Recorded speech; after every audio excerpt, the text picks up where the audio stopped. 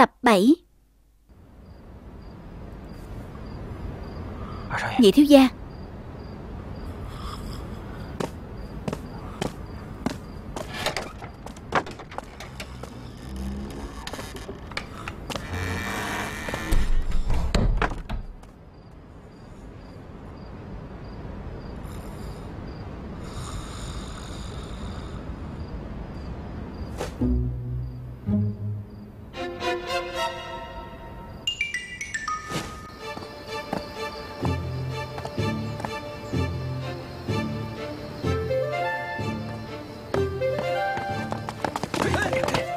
người làm gì vậy? Thả tôi ra. Đi, Thả tôi ra. Đi thôi, Thả tôi ra. Cha Cha muốn làm gì? A Tứ, Đừng bỏ chạy nữa. Cũng đừng lo lắng chuyện kết hôn. Chỉ cần tham gia hôn lễ, Sẽ không ảnh hưởng đến con và A Thuần cô nương. Cha muốn làm gì? Con không cần quản ta sẽ làm gì. Ta tự có suy tính. Suy tính cái gì? Tiểu Đinh sẽ đến cho con ăn. Còn với lão phu nhân thì Sẽ nói là Con đến nhà Âu Tùng Phủ, Tặng quà. Con phải thử đồ cưới. Cứ như vậy đi. Chết tiệt. Ông như này là bắt cóc đó. Lại lừa tôi. Thả tôi ra. Nếu không tôi sẽ hét to lên đấy. A Tứ. Không ai có thể nghe thấy đâu. Sẽ không có ai chú ý đến cậu đâu. Tiết kiệm chút sức lực mà tham gia hôn lễ đi. Tôi không muốn, Tôi không muốn kết hôn. Ông quay lại Quay lại, Ông quay lại. Bắt cóc Bắt cóc.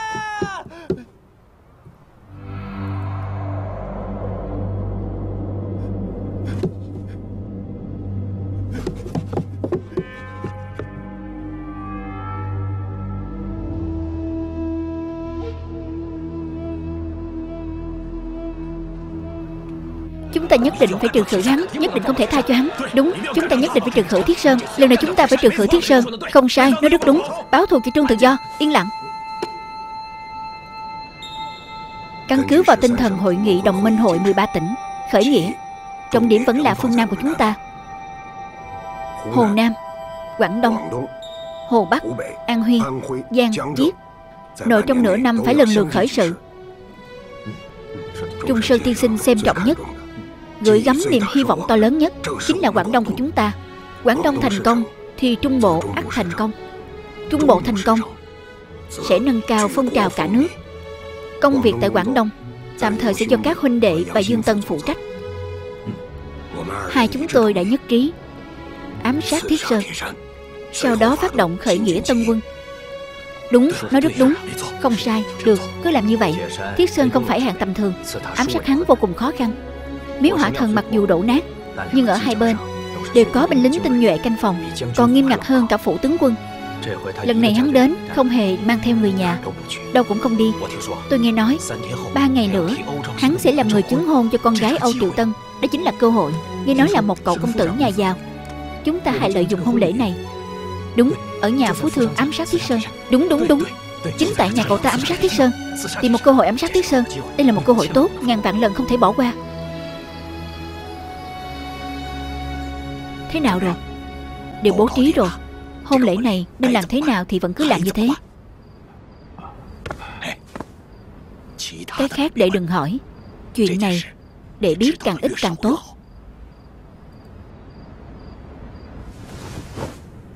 Thiếu Bạch, Anh cảm thấy Thiết Sơn sẽ đến hôn lễ kia chứ? Hắn nhất định sẽ đến. Anh dựa vào cái gì mà khẳng định như vậy? Lúc hội nghị 13 tỉnh Âu Tiểu Thư đã đến Hương Cảng Cô ấy tặng cho tôi một khẩu súng đặc biệt. Tôi không cẩn thận làm mất rồi. Khẩu súng này rất có khả năng Đã rơi vào trong tay Thiết Sơn.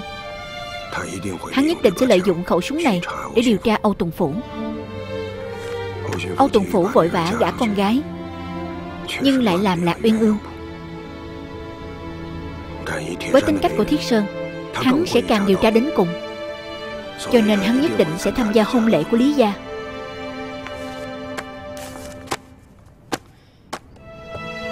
Vẫn là do anh hại Âu Tiểu Thư. Người ta đối với anh tình cảm sâu đậm biết bao. Từ Quảng Châu theo đến Hương Cảng. Từ 13 tuổi theo đến 20 tuổi. Ngay đến nhà cũng đã lấy ra cho anh. Bây giờ anh làm như thế này. Anh rốt cuộc là nghĩ thế nào vậy? Tôi chẳng nghĩ gì cả. Tôi số khổ. Ai ở gần tôi đều đen đuổi Cái rắm. Anh như vậy là trốn trách trách nhiệm. Hồi đó là anh tiếp cận Âu Tiểu Thư trước. Là anh. Anh là vì lừa cha quấy tha cho tôi. Nhưng Âu Tiểu Thư người ta đâu có biết Lúc đầu thì làm loạn Cuối cùng lại vứt bỏ. Cứng rắn ngốc nghếch Càng không dám hối hận. Anh, anh chưa từng nghĩ đến việc Giành lại cô ấy Làm áp trại phu nhân của anh ư? Chưa từng nghĩ đến. Được. Vậy anh cho rằng với tính cách của cô ấy Cô ấy sẽ ngoan ngoãn nghe lời cha cô ấy. Ngoan ngoãn lấy chồng sao? Nếu trước đám cưới bỏ trốn hoặc dứt khoát tự sát. Hôn lễ đều sẽ không thực hiện được. Dùng cái gì ám sát Thiết Sơn đây?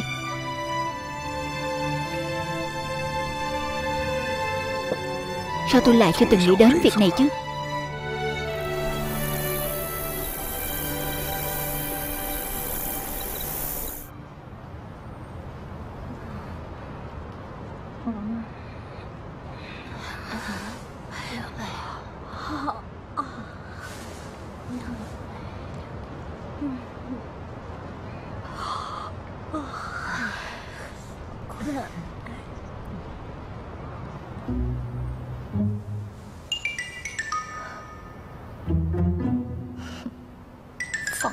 Nhiều người trông coi thế này, Thì con sẽ không trốn được đã chắc.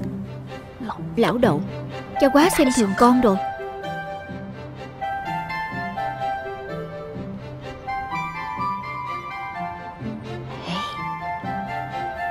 Có cách rồi, Xem tôi đây.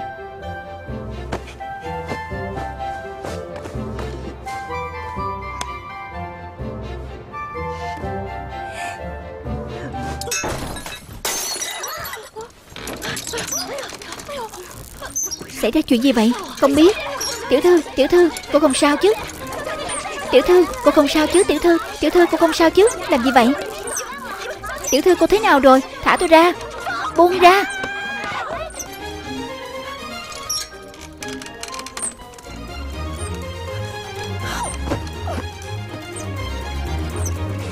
Không sao chứ? Không biết. Thôi bỏ đi đi thôi. Ra ngoài thôi, Ra ngoài thôi. Tiểu thư không sao. Vậy thì đi thôi. Đi đi đi. Nhanh lên nhanh lên. Không sao thì tốt. Dọa chết tôi rồi. Làm sao lại mất điện rồi? Tiểu thư không sao chứ? Nhanh đi xem tiểu thư.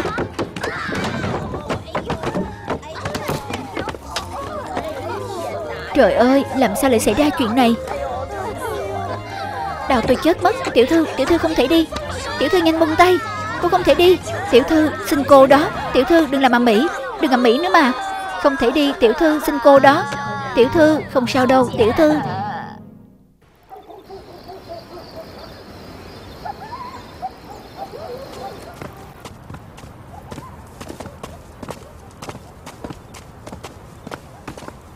Tiểu thư Cả phủ đều mất điện rồi. Quản gia kêu chúng tôi đến kiểm tra phòng này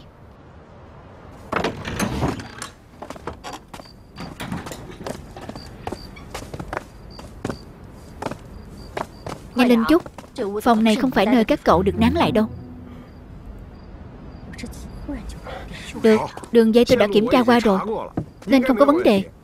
Tôi nghĩ là do bóng đèn. Bóng đèn hư rồi.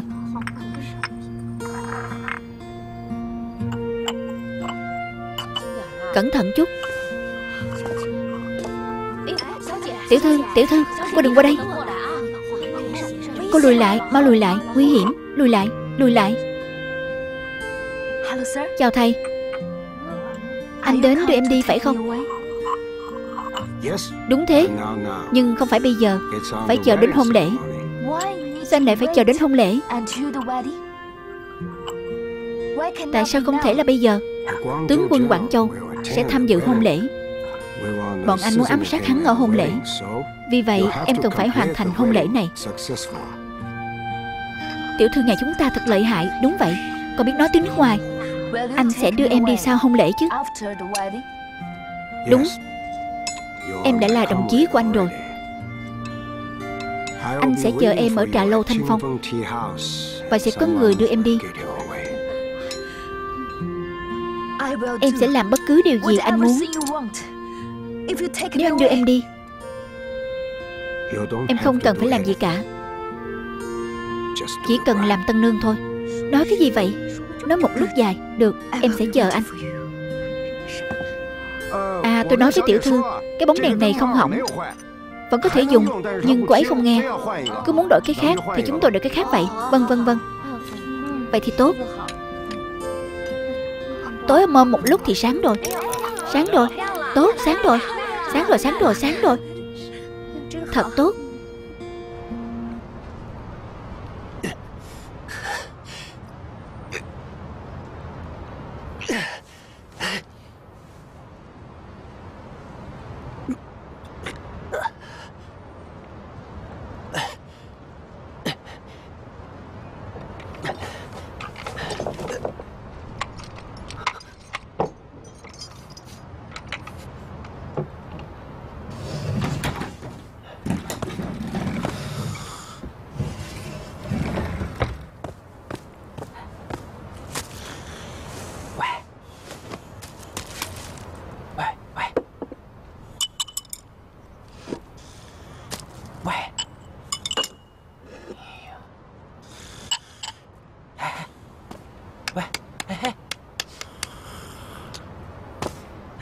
Cậu nói xem Đồ tiểu tử thối nhà cậu. Người ta đường đường là thiên kim đại tiểu thư Cành vàng lá ngọc Đặt trước mặt cậu Cậu không muốn. Cậu có ngốc không vậy? Cậu ấy. Tôi nói với cậu Tôi muốn còn không được diễm phúc này. Chi bằng hai chúng ta đổi chỗ đi. Vậy thì đổi đi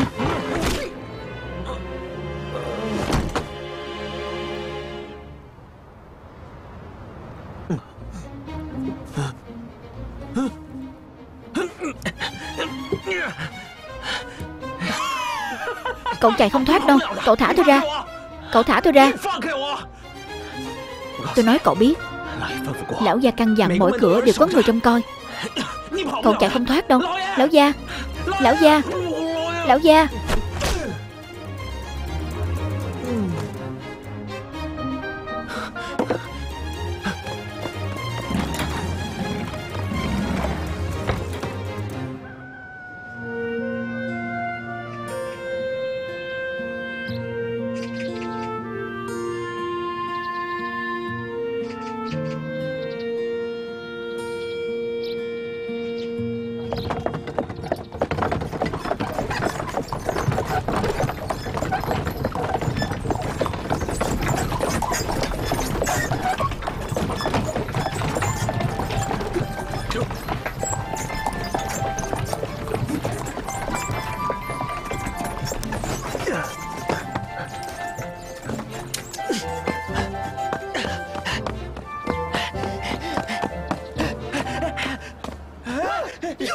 Cậu Đừng chạy, đừng chạy. Cậu đứng lại cho tôi, đừng chạy. Đứng lại. Cậu đứng lại cho tôi Đứng lại. Đứng lại, đừng chạy. Đứng lại, cậu quay lại cho tôi. Đừng chạy. Cậu đứng lại cho tôi. Đừng chạy. Cậu đứng lại cho tôi. Đứng lại.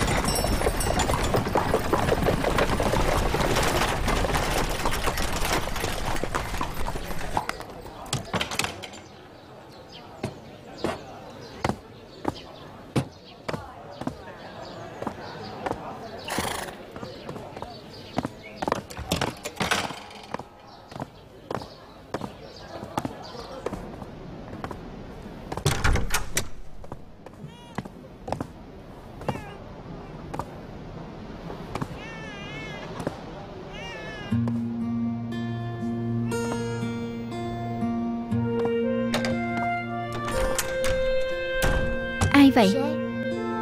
Lý lão gia à?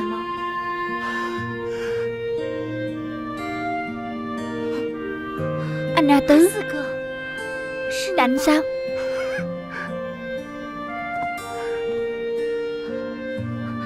Lạnh sao, anh A Tứ?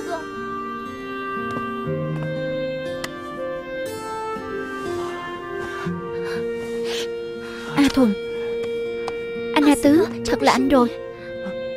A Tứ. Anh A Tứ. Anh A Tứ Làm sao anh lại khóc? Ai khóc chứ? Ai là trẻ con Người đó mới khóc. Đúng là anh rồi.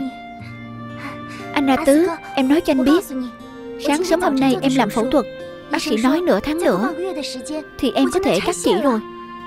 Đến lúc đó thì em có thể nhìn thấy anh rồi. Anh A Tứ, Anh phải giúp em cảm ơn Lý Lão Gia. Lão mấy chỉ khỏi mắt cho em. Được Được.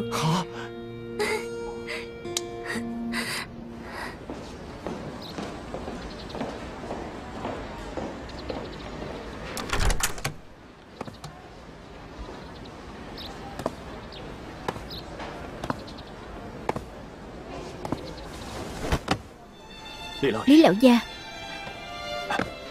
A Tứ. Người là đại ân nhân của con.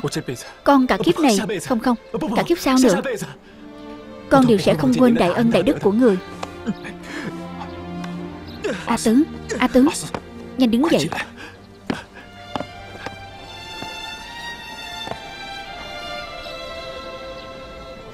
A Tứ à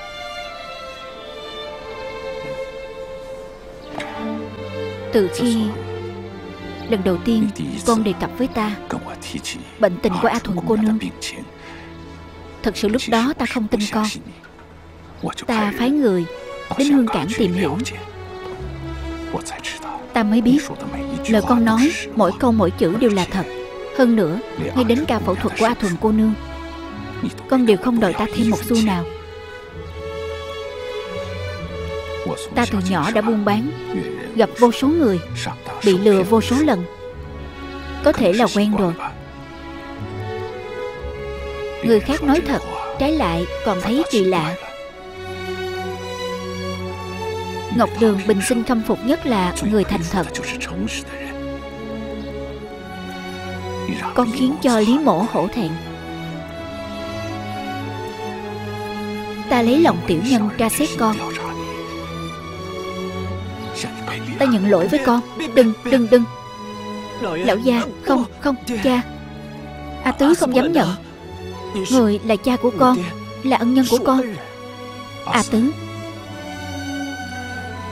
Đôi mắt của A Thuần cô nương Con cứ yên tâm đi. Ta sẽ phụ trách đến cùng. Coi như Ta một lần làm việc tốt. Cha. Cha muốn con làm gì đều được. Con sẽ không càng rỡ bỏ chạy nữa. A Tứ. Lần này ta gặp được A Thuần cô nương. Ta mới biết. Tại sao con Không đồng ý chuyện hôn sự? Con yên tâm đi. Chỉ là ta nghĩ.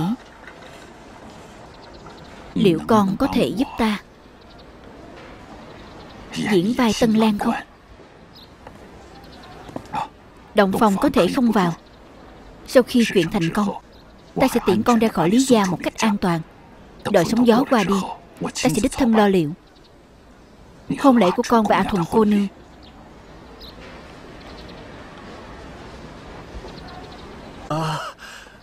Lão gia. Không Đại ân đại đức của cha. A Tứ con A Tứ cả đời này Đều sẽ không quên. Chỉ xin cha một chuyện Chuyện gì nói đi. Hôm nay Con muốn lại bệnh viện cùng A Thuần Cô ấy ở đây không quen. Lại mới làm phẫu thuật xong. Con Con đã thành thật. Ta tín nhiệm con. Vui vẻ ở bên A Thuần Buổi tối ta phái Lão Đinh đến đón con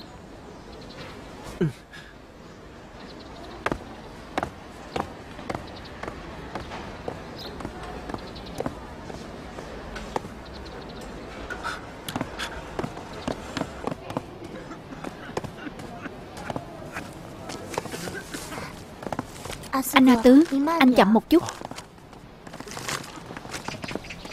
Tiên sinh, Quấy không thể ra ngoài. Chúng tôi ra ngoài sân thích khí trời. Trong phòng, không khí ngột ngạt quá. Sẽ quay lại nhanh thôi Và nhất định phải đi từ từ. Quấy mới làm xong phẫu thuật, Ngàn vạn lần không được chấn động đến vết thương. Được, đi từ từ. Cẩn thận một chút, Chậm một chút.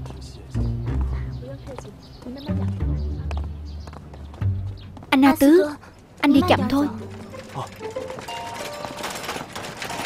Anh Na Tứ, Chúng ta đi đâu đây? Về hương cảng. Anh Na Tứ, Không phải anh đã đồng ý với lão gia, Còn phải làm lễ bái gì nữa cơ mà. Ai nói cho em? Lý lão gia. Lý lão gia nói, Ông ấy có một việc rất quan trọng, Phải nhờ anh đi làm. Sau khi làm xong, Ông ấy sẽ đích thân tiện hai chúng ta về hương cảng. Lý lão gia lại đổi chủ ý rồi, đến đưa em về hương cảng.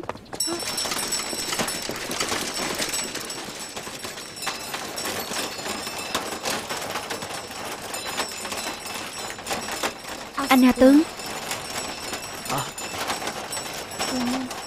Chúng ta Chúng ta quay lại đi. Quay lại đâu? Đi tìm Lý Lão Gia. Tại sao? Lão Gia tin tưởng anh như vậy. Anh không thể lừa ông ấy. Em biết. Việc ông ấy muốn anh làm nhất định rất khó. Nhưng chúng ta đã đồng ý với người ta rồi Coi như không làm Cũng không thể lén lút bỏ chạy được. Không được Chúng ta tuyệt đối không thể quay lại. Nếu chúng ta lén lút bỏ chạy như thế này Anh không cảm thấy áy náy sao? Ngọc Đường Bình Sinh khâm phục nhất là người thành thật. Còn khiến cho Lý Mổ hổ thẹn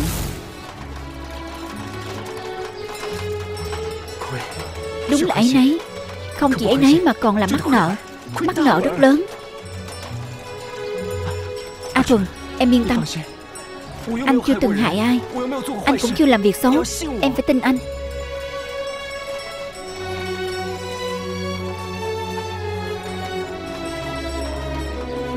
Con đã thành thật.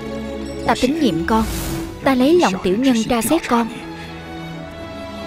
Ta nhận lỗi với con Đại ca. Chạy nhanh lên một chút.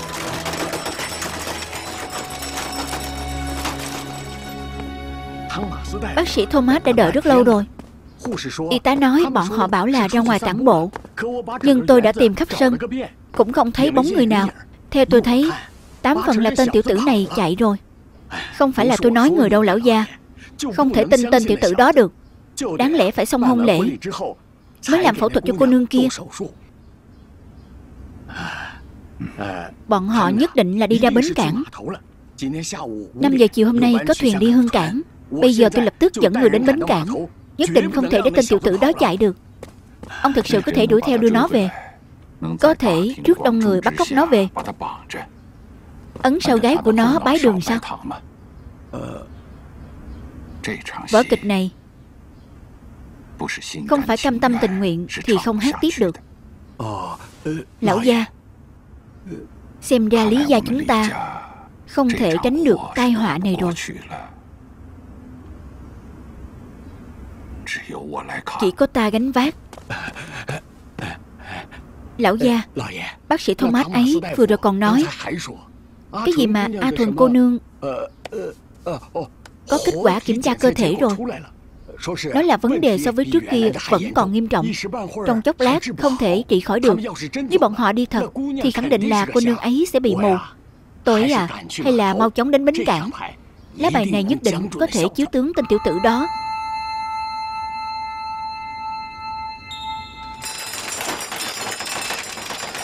Dừng xe, dừng xe. Thế nào rồi, thế nào rồi? Mắt đau lắm phải không? Phẫu thuật xong bác sĩ nói như thế nào Cô y tá đó nói, Vết thương không thể bị chấn động. Nhất định là xe quá chấn động rồi. Điều là tại anh đó, Anh đi quá sốc. Là do cậu muốn nhanh lên. Muốn xe chạy nhanh có thể không sốc sao? Là do anh không biết kéo. Tôi không biết kéo. Vậy cậu biết. Thì cậu đến đây. Cậu kéo đi. À thôi, Anh kéo thì sẽ không sốc đâu. Em ngồi cho chắc. Đến Hương Cảng Chúng ta sẽ lập tức đi tìm bác sĩ. Dù sao cũng đã phẫu thuật xong rồi. Nhất định không có vấn đề gì đâu.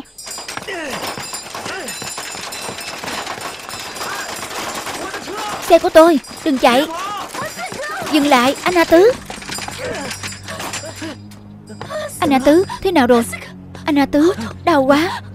Đau quá. Xảy ra chuyện gì rồi? Anh A Tứ. A Tứ chúng ta quay lại đi. A Thuần.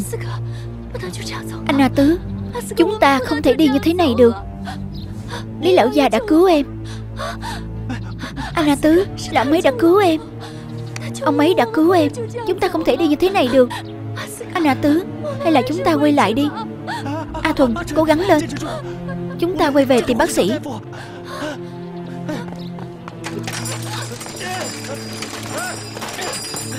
Bác sĩ.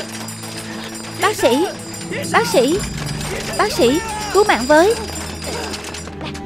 Đợi một chút nào, Bên này. Không sao, A Thuần Không sao Không sao đâu. Cẩn thận chút. Không sao Không sao Không sao Chờ một chút. Bác sĩ phải làm kiểm tra cho bệnh nhân.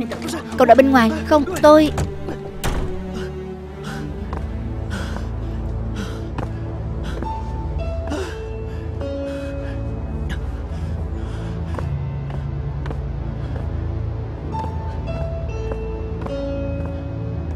Cầu xin Bồ Tát phù hộ cho A Thuần Hoàng Thế Âm Bồ Tát cứu khổ cứu nạn, Đại từ đại bi.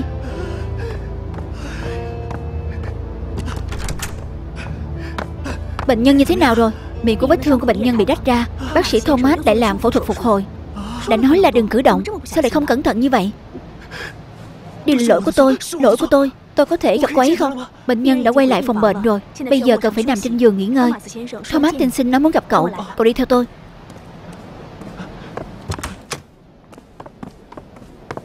Cậu đợi một chút Tôi mời Thomas tiên sinh tới.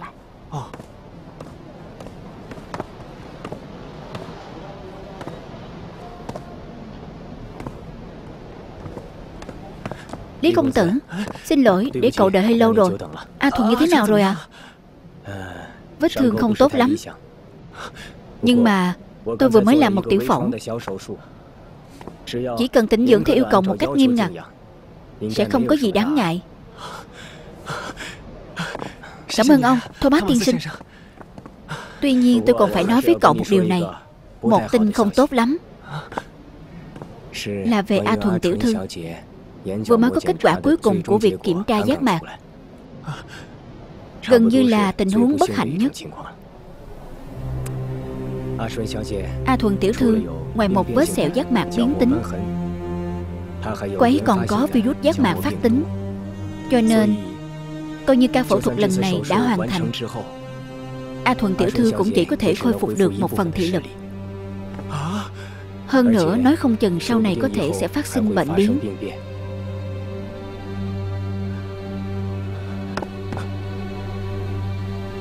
Cho nên tôi kiến nghị mọi người Hãy nhanh chóng làm phẫu thuật cấy ghép giác mạc.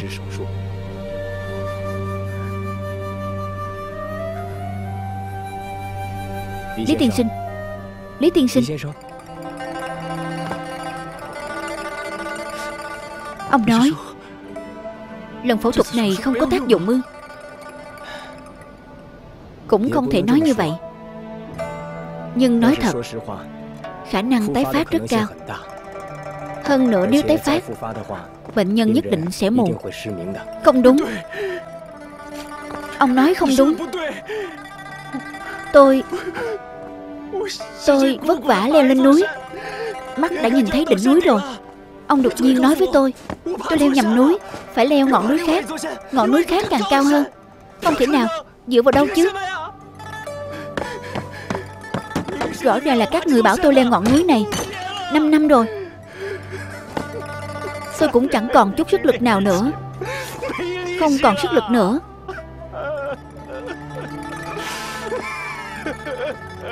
Lý tiên sinh. Lý tiên sinh, Tôi rất hiểu tâm trạng hiện giờ của cậu. Nhưng Cậu không cần phải đau lòng như thế này. Tôi đã nói qua sự tình này với Lý Lão Gia. Cái gì? Ông với ai? Ông với Ông nói qua với cha tôi. Ông ấy biết tôi đang bỏ trốn. Ý tôi là tình hình ở đây. Ông ấy đều đã biết rồi sao? Tôi đã gọi điện thoại đến phụ nói với ông ấy rồi. Ông ấy lập tức đến đây ngay. Hơn nữa sau khi ông ấy đến Còn nói với tôi rằng Dù cho tốn kém thế nào đi nữa Đều nhất định phải trị khỏi bệnh cho A Thuần Tiểu Thư. Ông ấy đến tìm tôi.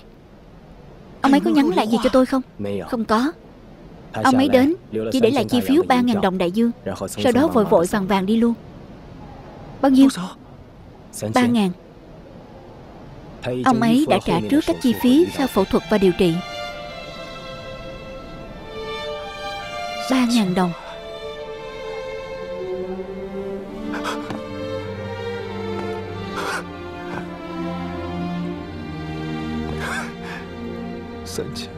Ba ngàn đồng. Cũng không hỏi tôi có bán hay không Thì cũng đã mua cái mạng này của tôi rồi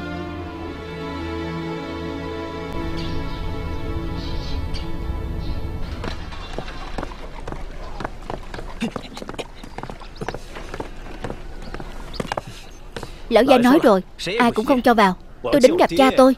Lão gia nói rồi Ai cũng không cho vào. Là thiếu gia. À Lão gia và cửu gia đang bàn chuyện quan trọng.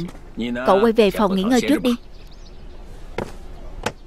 Cha Lần này quay về Không thể để cô ấy chạy được. Bỏ tôi ra Cô ấy tự biết đi. Là vậy Lão gia nói rồi. Đã là thật Giả không được. Đã là giả Thật không được. Tất cả mọi việc không thể gò ép được Liệu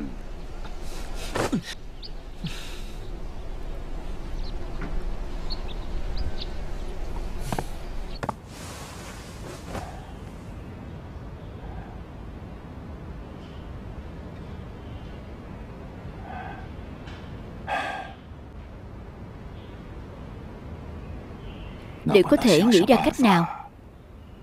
Ra tay kinh đường Thiết Sơn đến, Hắn không đến được nhà chúng ta. Thì hôn lễ cũng có thể hủy bỏ rồi.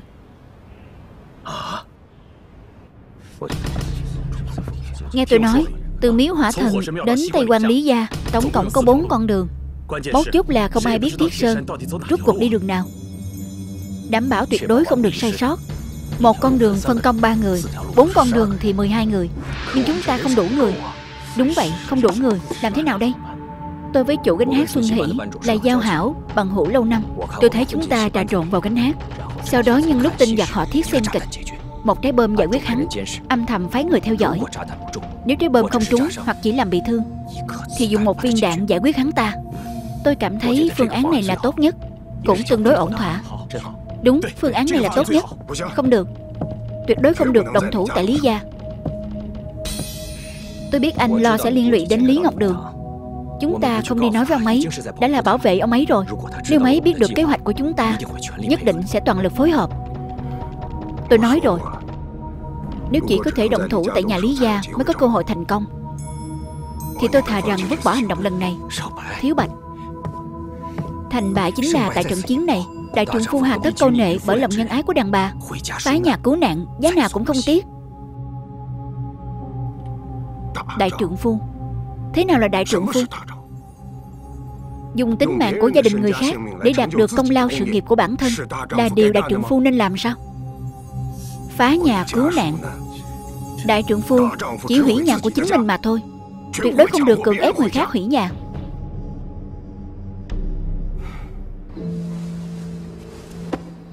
Các vị tổ tông Bồ Tát Con A Tứ thắp nén hương cho các vị. Các vị tuy rằng không nhận ra con Nhưng nhìn khuôn mặt của Lý Trùng Quang đã chết. Con có thể làm thế thân cho cậu ấy. Trong lòng có lẽ đã nhận các vị làm tổ tông rồi.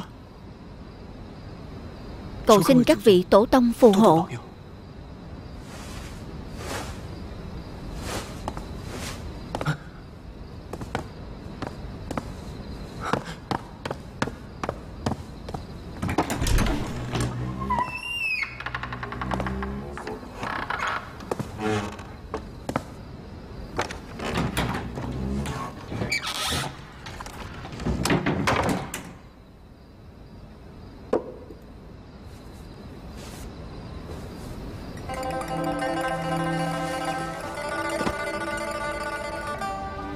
tổ liệt tông ở trên cao. Con cháu không ra gì Ngọc Đường xin thề. Thề chết. Thay con báo thù. Mong liệt tổ liệt tông phù hộ. A tướng Đừng bỏ chạy nữa. Cũng đừng lo lắng chuyện kết hôn. Chỉ cần tham gia hôn lễ Sẽ không ảnh hưởng đến con và A Thuần cô nương con chỉ cần diễn vai Tân Lan Không cần vào động phòng. Một, chạy đầu chạy đến tận đuôi. Hai, chạy đầu chạy đến tóc bạc mày ngang. Ba, chạy đầu chạy đến con cháu đầy đàn. Bốn, chạy đầu chạy đến lão gia gặp bận may. Ra đường tương phùng gặp quý nhân.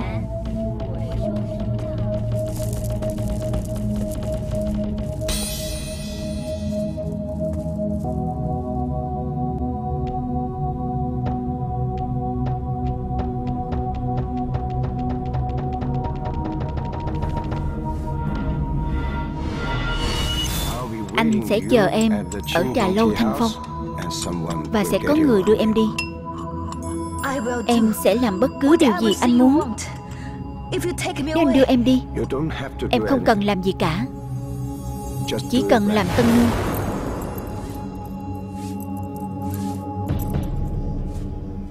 Ngày lành tháng tốt của người mới mà chậm trễ, Thì không tốt lành rồi. Đi Tây Quan có bốn con đường. Đường nào cũng có mai phục. Ta lại muốn xem xem. Bọn chúng còn có thể có kế gì mới? Nhậm chức vài ngày nay. Quá yên tĩnh rồi. Hôm nay vừa hay sẽ rất náo nhiệt đây